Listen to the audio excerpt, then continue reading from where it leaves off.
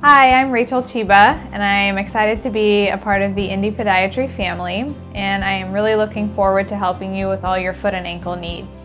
I am originally from Lapel, Indiana, which is a small town just about 45 minutes north of here. I have always been interested in medicine. I knew I always wanted to do something in the medical field. Um, I just wasn't sure what. So uh, about 10 years ago, my dad hurt his foot, and so I went with him um, to a few different physicians, and then we went to a podiatrist to have his Achilles tendon looked at. After that, I thought, I think I could probably do this, and I really enjoyed it. So I ended up shadowing my dad's podiatrist for a couple of years, and then I ended up going to podiatry school.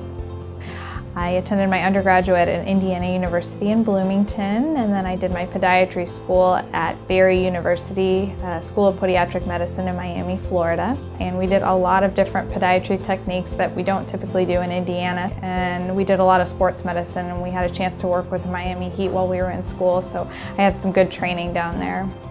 So when I was in Miami, we had a lot of cosmetic podiatry. So if I define that, it's basically where um, a lot of women down there wear high heels, they have spider veins, they have a lot of things like that. And up here, we don't typically think of the podiatrist as doing things cosmetic as that. And so now we have the opportunity and the chance to further that. So we have treatments that will treat some fat pad atrophy in the bottom of the foot. So if you have trouble wearing high heels or you have trouble wearing, you know, any sort of heel, we can get you back into them. And we also have the opportunity to remove spider veins from your legs.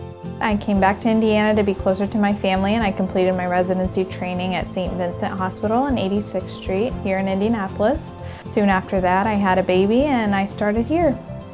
I look forward to treating all kinds of kid ailments that occur, including Sever's disease, which is um, where you have some pain in the back of the heel. Um, a lot of times we treat children with flat feet and ingrown toenails quite frequently. I really look forward to uh, providing these services and kind of introducing these new techniques to the people of Central Indiana and the things that I've learned down there and bring them up here. I'm Dr. Chhiba and I look forward to getting you back on your feet.